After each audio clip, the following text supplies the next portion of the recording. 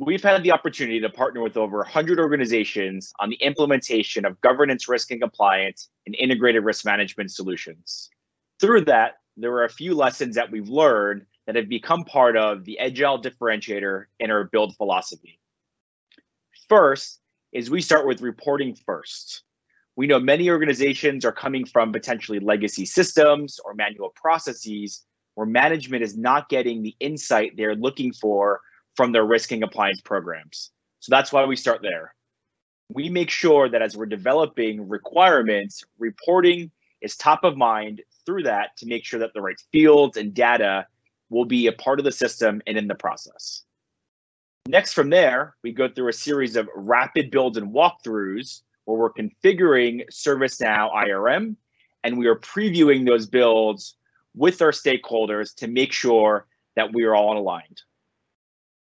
From there, we build training and communication plans. As we know, through any system implementation, it's important to make sure that the entire organization and various stakeholders are along for the journey and that will be successful when we deploy. And lastly, we focus on workflow last. Obviously, we know automation is a really important part of any implementation of a GRC technology, but we want to make sure that the process is fully baked and that stakeholders are aligned so that we can then bring the right level of automation smartly. A few other points to note about Edgile's build philosophy. We focus on configuration, not customization.